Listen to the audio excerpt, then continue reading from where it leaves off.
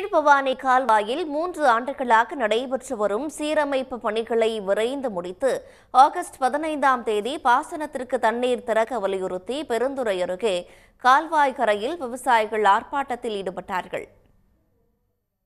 ஈரோடு மாவட்ட மக்களின் முக்கிய குடிநீர் ஆதாரமாக பவானிசாகர் அணை உள்ளது. இந்த அணையில் இருந்து இருநூறு கிலோமீட்டர் தொலைவிற்கு செல்லும் கீழ் பவானி பிரதான கால்வாய் மூலம் ஈரோடு திருப்பூர் கரூர் மாவட்டங்களைச் சேர்ந்த இரண்டு லட்சத்து ஏழாயிரம் விவசாய நிலங்கள் பாசன வசதி பெற்று வருகின்றன.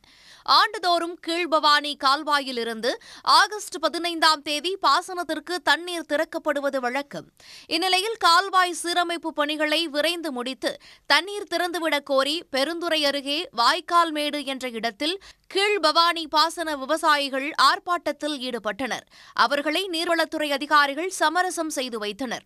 பிரதான கால்வாயில் பதினேழு பதினெட்டு இடத்துல நடந்துகிட்டு இருக்குதுங்க.